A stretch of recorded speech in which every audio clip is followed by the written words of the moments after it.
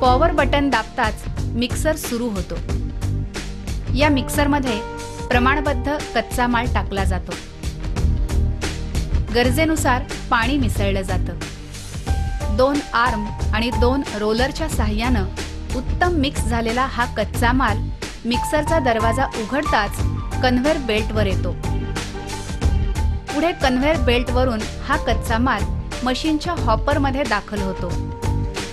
मशीनच्या कंट्रोल पॅनलवरील power switch व सायकल स्विच ऑन करताच हॉपरमधील कच्चा माल ट्रेच्या सहाय्याने मोल्डमध्ये येतो व मोल्डिंगची प्रक्रिया सुरू होते.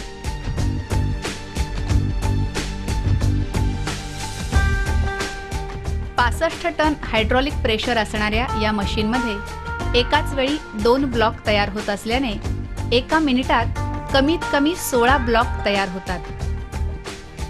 सर्वात महत्वाची बाब म्हणजे मशीनमध्ये कुठेही लाकडी फळ्या म्हणजेच पॅलेट्स गरजेच्या नसल्याने प्रत्येक वर्षीचा चार ते पाच लाखांचा खर्च वाचतो.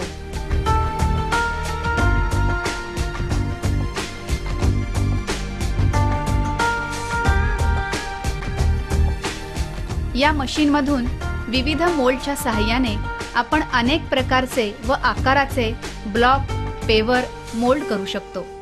हे मोल्ड अत्यंत अल्प खर्चात रिपेअर होतात.